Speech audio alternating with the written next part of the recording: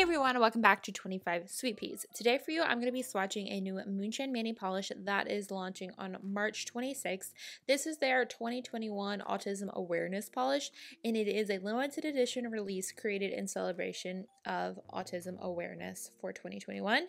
It is described as a neon sky blue packed with a rainbow of iridescent flakies, and it is absolutely beautiful. For me, it covered perfectly in two coats, and in the first coat, it was like, okay, this is going to be kind of a muted blue, but on the second coat, it really brightened up and became sort of a bit more of a vibrant sky blue, and it's really pretty. So, this polish will be available through the last day of April and it will be $12. And for every bottle sold, $2 of that bottle's sale will be donated to the Autism Research Institute.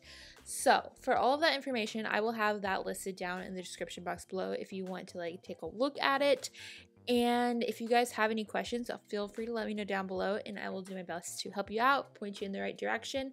And I think that is officially it. So thank you so much for stopping by and watching, and I will talk to y'all soon. Bye!